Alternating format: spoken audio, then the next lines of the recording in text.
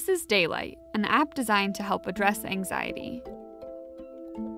It's designed by Big Health, which develops digital tools for mental health. Its approach is to give users the active ingredients of therapy. Like this, an exercise called Tense and Release. It's a technique to relax your body and, in turn, relax your mind. To show users what it looks like, the design team drew up this character. A narrator guides users through the exercise. I actually want you to tense up. That way, when you release all of that tension, you'll benefit from a natural relaxation response in your muscles. It's designed to help users see themselves in the character.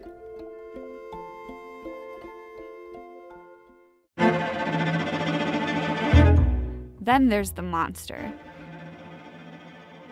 He makes an appearance in some of the harder therapy techniques. The monster is a symbol for fear lurking just around the door in the dark. The app guides users through visualizing their metaphorical monsters. It also teaches ways to cope with them.